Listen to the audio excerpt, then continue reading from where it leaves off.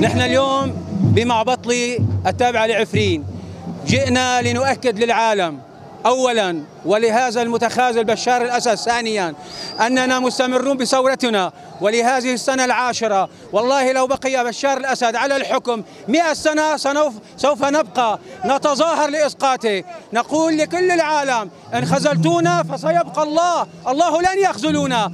من من الأطفال الصغار إلى الشيوخ جاءت تقول للظلم لا. اليوم نجدد العهد بالذكرى العاشرة للثورة السورية مباركه واليوم نقوم بتجديدها بمنطقة بناحيه المعبطلي وبإذن الله ماضين.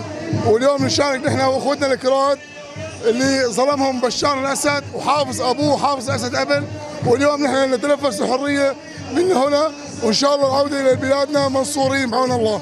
اليوم بعد عشر سنين خرجنا في مظاهرة مركزية بمعبر باب السلامة بتأكيد وإصرار على استمراريتنا بالثورة. رغم التضحيات والدمار الذي حصل لنا ورغم التهجير لازلنا مستمرين بطلب اسقاط النظام. وامبارحة حصل قصف على مدينة كلس التركية من عصابات حزب البي كي كي الإرهابية في مدينة الرفح نطالب الدولة التركية بفتح عمل على مناطقنا المحتلة وعودة المهجرين إلى مدينتنا. نظام ساقط ساقط لا محالة هو وكل رموزه. بوجود الأحرار والثوار باقين على العهد بإذن الله تعالى. ومنقول بسم الله الرحمن الرحيم.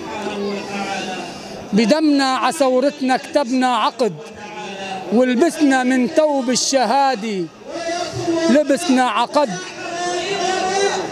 بعد ما مر عثورتنا من الزمن عقد حلفنا عن درب ثورتنا ما ننسحب جئنا اليوم لإحياء الذكرى العاشرة للثورة السورية التي قدمت دماء شهدائها. ونطالب من المجتمع الدولي والأخوة الأتراك إعادتنا إلى مناطقنا المحتلة من قبل الأحزاب الانفصالية. ونحن هنا في ناحية المعبطلة نشارك أخوتنا العرب في الثورة السورية وإن شاء الله تتحرر سوريا من رجس النظام الأسدي ونحن باقيون على العهد وبتمام العقد نجدد العهد. عاشت الثورة السورية حرك أبية.